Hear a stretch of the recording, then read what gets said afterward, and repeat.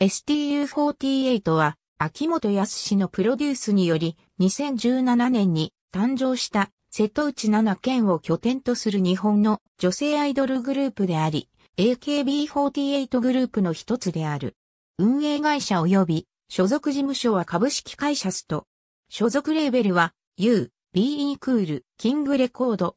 AKB48 を含めて日本国内外にある AKB48 の姉妹グループの8組目として2017年に発足した。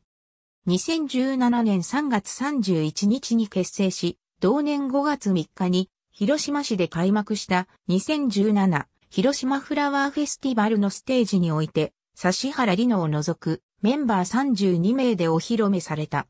2018年1月31日に、キングレコードよりシングル、暗闇を発売し、メジャーデビューした。お披露目から273日での CD デビューは、日本国内 AKB48 グループでは最速である。グループ名のアルファベットブスとは、瀬戸内から。STU48 は、瀬戸内海という一つの海、瀬戸内地方、七つの県を舞台に活動しており、AKB48 グループの活動の柱である。劇場は戦場劇場となり、船が瀬戸内の主要港を回り、そこで歌やダンスを披露する。STU48 は NGT48 と同様に地域活性化の効果が期待され、瀬戸内の地方創生を担う。当時の一期生31名の出身地は、広島県が7名、山口県、愛媛県が各4名、岡山県が3名、香川県、徳島県、兵庫県、大阪府が各2名、愛知県、三重県、高知県、福岡県、佐賀県が各1名で、瀬戸内7県の出身者は24名であった。2021年6月6日時点では、広島県が11名、山口県、兵庫県が各5名、香川県、愛媛県が各3名、岡山県が2名、徳島県が1名の計30名である。運営会社は一般社団法人瀬戸内観光推進機構と株式会社瀬戸内ブランドコーポレーションから構成される瀬戸内ダモが出資する株式会社ストである。日本国内の AKB48 グループで唯一アクスが直接運営を行ったことがない。また所属レーベルのキングレコードには AKB48 も所属しており、初めて同一のレコード会社に2つの AKB48 グループが同時在籍することになった。元正規メンバー元研究生 STU48 キャプテン岡田七今村瑞希 STU48 副キャプテン福田樹里 CGB41 はクリーム玄米ブランのテレビ CM に出演する秋元康公認と歌われたアイドルグループであり、CGB はクリーム玄米ブランの略である。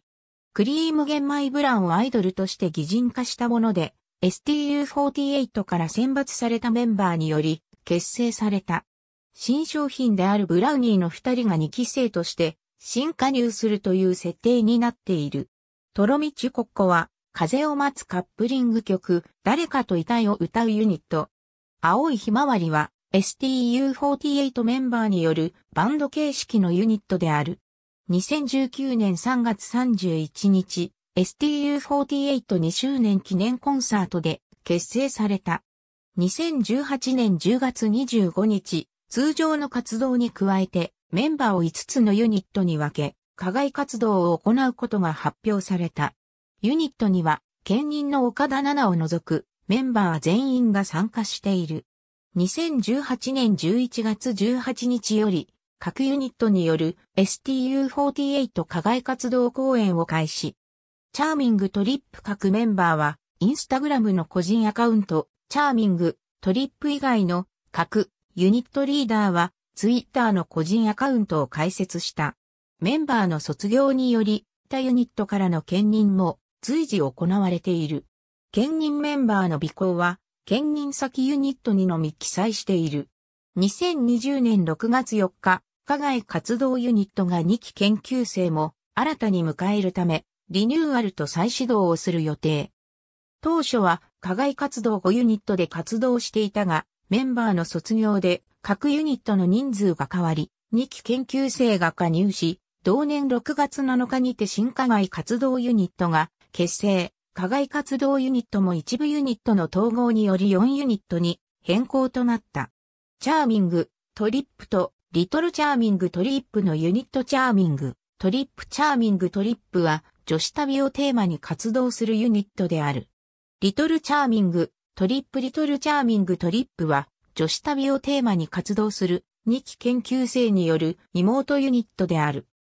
勝手に四国観光大使と勝手に四国観光ガイドのユニット勝手に四国観光大使勝手に四国観光大使は四国をテーマに活動するユニットである。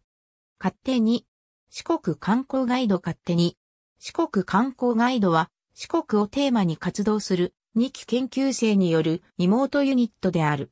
スタジオとミンディオのユニットスタジオスタジオはパフォーマンスをテーマに活動するユニットである。ミニスタジオミニスタジオはパフォーマンスをテーマに活動する2期研究生による妹ユニットである。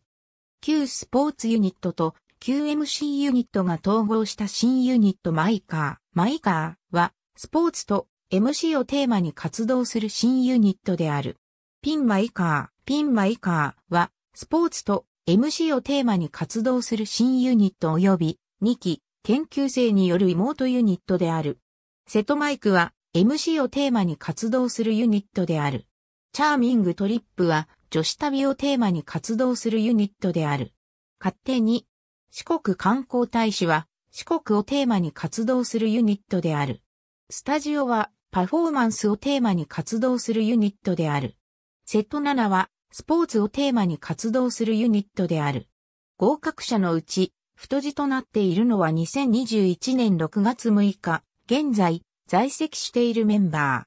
告知ポスターにおけるキャッチコピーは瀬戸内から AKB 総選挙1位を出そう。となっていた。STU48 絶景オーディション第1期生オーディションでは画像共有サービスインスタグラムによるオーディションが同時開催された。応募方法は瀬戸内7県で美しいと感じる絶景を背景に自身の写真を撮影し、インスタグラムでハッシュタグ STU48 絶景オーディションをつけて投稿する。地域名や地元愛のあるコメントなども付けられる。特に素晴らしい写真の投稿者には、第一期生公式オーディション一次審査への招待メッセージが届けられる。また、このオーディションには、通常のオーディションとの重複応募も可能であった。募集要項、第2期生オーディションでは、瀬戸内セミナーが別途開催され、最終審査は、ファン投票により、メンバーが選出される。第3回2018年1月21日ドラフト会議開催候補者68名中非指名者55名、うち STU48 から5名が指名された。STU48 の楽曲は AKB48 関連の楽曲一覧参照。以下における最高位の記述はオリコン週間チャート最高位。参加シングル AKB48 STU48 名義でない作品の収録曲。参加アルバム AKB48 コンサートバラエティ、スト48号は STU48 専用劇場として使用される目的で整備された船舶である。建造時の経緯から貨客船に分類される。STU48 の劇場は戦場劇場であることを特徴としているが、発表当初、2017夏出港としていた劇場船の計画は具体的な進捗状況が不明なまま1年が経過した。2018年4月になり、壱岐津島シーラインが調達し、壱岐津島フェリーが博多港足部港伊豆原港航路で運用していた貨客船ミカサを改造の上で戦場劇場として使用することが発表された。劇場は二層構造となっていた既存の客室部分を撤去した上で、大型化した一層の上部構造ブロックを新たに設置して広いデッキを確保し、この中にステージと客席が置かれたホールを設けた。改造工事はジャパンマリンユナイテッドが受注し、同社のインド島工場と子会社の JMU アムテックが分担して、劇場用の大型ブロックを製造した。貨客船を劇場船に改造するという前例のない工事でもあり、STU48 がアンバサダーを務める C2C プロジェクトを推進する国土交通省が船舶の基本設計についての技術的な支援を行っており、同プロジェクトにおけるウェブサイトや SNS を通じて改造工事の様子を発信した。2020年7月9日、戦場劇場が2021年春に閉鎖となることが発表された。新型コロナウイルス感染拡大の影響を受け、第2波の到来も予想されることから、戦場劇場での公演開催が難しい状況が断続的に訪れる可能性が高いためとされる。2021年5月23日の公演をもって引退。スト48号の遠隔2016年、2017年、2018年、2019年、2020年、2021年、公演開催地各港湾を巡回し、岸壁に形成した状態で公演が行われた。船舶である特性を活かし、下記の港以外での公演が行われることもあった。スト48号での公演 STU482 期、研究生戦場劇場の完成が滞り劇場、公演が開始できないため、瀬戸内7県の各ホールライブハウスにおいて実施する STU48 最多、最長となる陸上公演ツアーであり、2018年3月12日より開始された。STU48 では初となる生誕祭も実施された。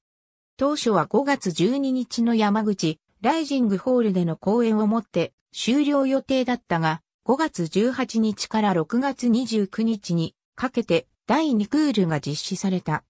さらに第3クールとして同年10月25日より STU48 陸上公演出港準備中を実施した。課外活動5ユニット別による公演。特別課外活動春節特別公演2017年2018年。ありがとうございます。